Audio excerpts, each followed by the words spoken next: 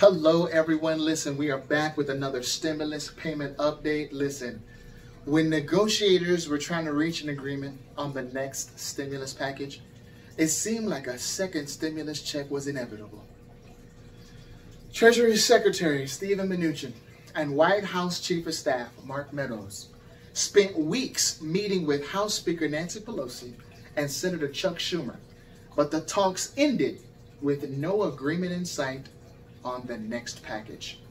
No agreement in sight. The negotiations, they centered around several key issues, but it seemed like a second check was not one of them. The House of Representatives passed the HEROES Act in May, as you remember, and it included a stimulus check. When Senate Leader Mitch McConnell introduced the various parts of the HEALS Act, it also included a stimulus check. It seemed like the one thing we didn't have to worry about was a stimulus check. The HEROES Act offered a $1,200 per person payment, $2,400 for joint filers, to those who earn less than 75K, 150K for joint filers, with a 5% phase out for those earning more than the limit. It also increased the amount for dependents to $1,200 and included all dependents up to three per household. This is higher than what was offered in the first stimulus check. This HEALS Act offered the same base economic impact payment as the HEROES Act. $1,200 per person, 2,400 for joint filers, so Americans who earn less than 75K, 150K for joint filers, with the 5% phase out of those earning more than the limit. It would only add $500 for each dependent with no age restriction, but also no limit on the number of dependents. Both bills structured the payments as an advance on a refundable tax credit. If negotiators could reach an agreement on the other parts of the package, stimulus checks were safe. Secretary Mnuchin even said the Treasury could issue checks in as soon as a week after passage into law. However, GOP leaders have been circulating a 169-page draft bill this week, colloquially called the skinny plan, and it doesn't include a stimulus check. It focuses on other aspects of relief, but a stimulus check is not one of them. That's not a good thing. Now, what's in this 169 page skinny plan?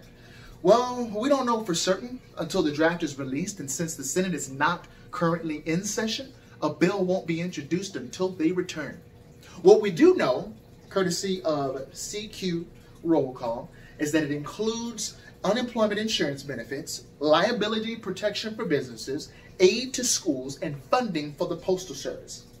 The skinny bill would provide $300 in weekly unemployment insurance benefits through December 27th, which is similar to what President Trump tried to implement with his executive memorandum.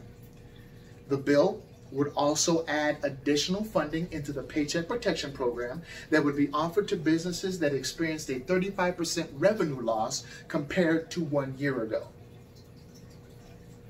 It also includes a liability shield similar to the one introduced in the HEALS Act. The liability shield protects businesses, schools, medical providers from lawsuits arising from this current situation we're going through as long as they did not demonstrate gross negligence. It would also cover several other pieces of the HEALS Act, including 105 billion dollar funding for schools and universities, 29 billion dollars for vaccine development, and 16 billion dollars for testing and contact tracing. Finally, for the United States Postal Service, it would cancel the debt provided by the CARES Act if the USPS's cash balances fell below $8 billion. The CARES Act gave the USPS a $10 billion loan, but this skinny bill would turn it into a grant if the USPS had paid less than $8 billion in cash. Why was the stimulus check excluded? The biggest issue right, with this next stimulus package was its total cost. The HEROES Act passed by the House has a price tag of over $3 trillion. The White House wants a package closer to $1 trillion. Speaker Pelosi has offered to bring the cost down to $2 trillion, but the White House insisted that was still too much. That's why the talks have stopped. According to the Joint Committee on Taxation, sending a second round of stimulus checks in the HEROES Act would cost over $400 billion. The Congressional Budget Office estimated that the stimulus checks in the CARES Act cost less than $300 million. The total cost of the next packet, well, that would be considerably lower if it didn't include a stimulus check. What do you guys think about that? Let me know about that, all right? Because with the stock market reaching new highs, it's much easier to make the argument that the economy is performing well and additional stimulus is unnecessary. While the stock market is not an accurate barometer of the economy as a whole, it does make the argument easier. and with the stock market stealing the headlines with record highs, lawmakers can actually push for other priorities. Now, this is not to say that the economy is performing well for all Americans. Remember, only about 52% of Americans own stock.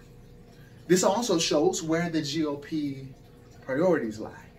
Even if many Americans are feeling the financial pinch right now, they appear to be focusing the aid toward those who are out of work.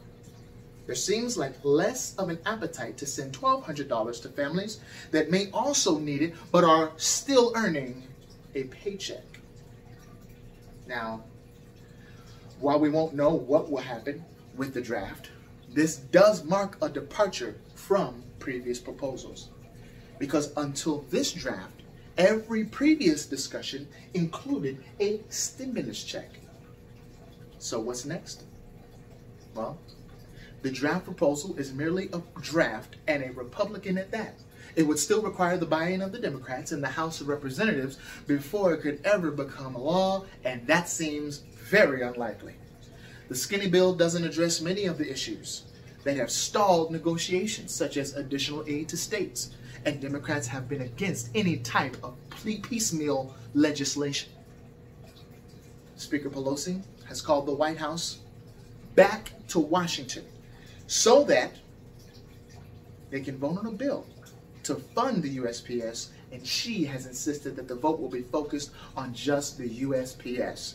Some have pointed out, right, that this move is a sign the Democrats are willing to try to pass some aspects of the next passage through piecemeal legislation, if it's important enough. Now, according to Politico, White House Chief of Staff Meadows plans to be at the Capitol for the vote to try to restart negotiations on the next package, which is an encouraging sign to all those waiting on additional stimulus. Wow, I don't know. Guys, what do you think about that? I mean, I know there's a lot of talk that's going on in these negotiations. However, I know for a fact that it's better to have and take responsibility for your own domain. Meaning, right? Meaning, let's build yourself a business, right? That's the number one tax strategy in the world. If you want cash, $1,200 a month, $2,400 a month, right? Joint filing, get yourself a business. And that's one of the best ways to get that cash flow coming in. Provide a service that people want. All right, folks, listen, that is it for today. I want to say God bless. You take care.